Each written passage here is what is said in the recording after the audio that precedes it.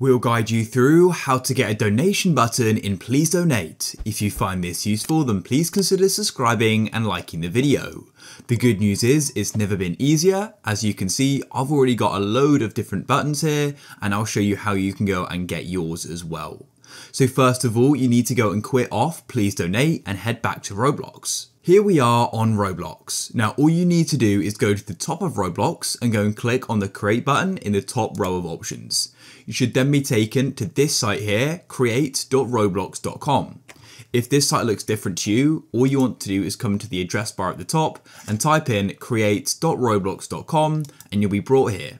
And then all you want to do is come over to the left and go and click on creations, like so.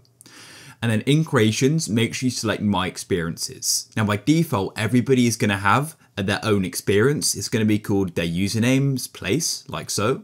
And all you need to do is go and click on it. Then all you need to do is go over to the left and go and scroll down into monetization. You may need to expand it and locate passes. Now before this setting sometimes changes, so if it isn't where mine is right now, scroll down a bit and you should be able to go and find it. It should be called passes anyway. Then, as you can see, I've got these different passes here, but all you need to do is click on the button, create a pass, like this. And then all you can do is have the option to upload an image, you don't have to though.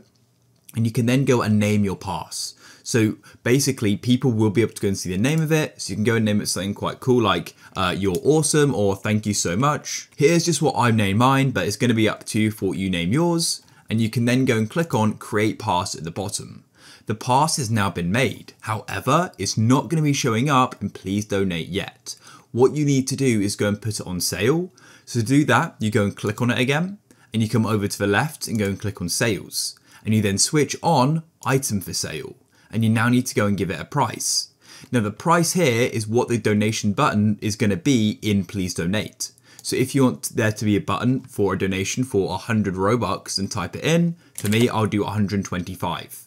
Now it's important to note that as a creator, you keep 70%. So yeah, I'm only going to keep 87 if somebody buys this pass and donates 125. So just consider that. But if you're ready, you can then click on save changes and that's it. It's now going to be appearing in please donate as a button.